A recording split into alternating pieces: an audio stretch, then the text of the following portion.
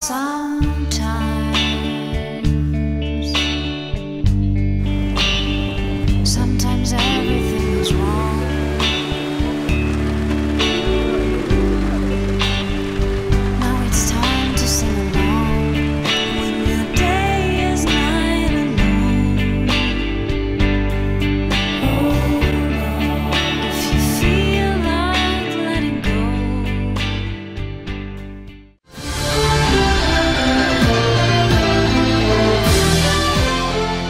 Confira agora as principais notícias do Brasil e do mundo na Lagoa TV.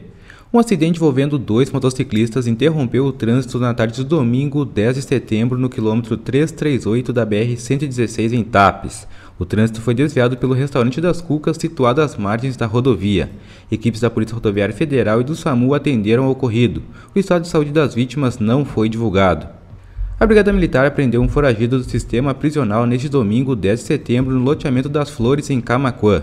O foragido, identificado como Tiago Ferreira da Silva Gonçalves, de 27 anos, conhecido como Fiinho, ao perceber a presença da viatura, tentou fugir por um matagal. No entanto, a Brigada Militar capturou o foragido. Veja mais em acusticfm.com.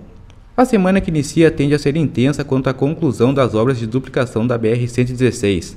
Nesta segunda-feira, 11 de setembro, em Porto Alegre, uma reunião traz as estratégias para duas reuniões em Brasília na quarta e quinta-feira, em busca de mais recursos para a obra. A ideia é pressionar o governo a liberar mais recursos para os orçamentos de 2018 e 2019, além de possíveis remanejos ainda no orçamento de 2017, para continuar a execução da obra. O prefeito de TAP, Silvio Rafaeli, participa da reunião. Essas e outras notícias você confere no nosso site www.lagoatv.com.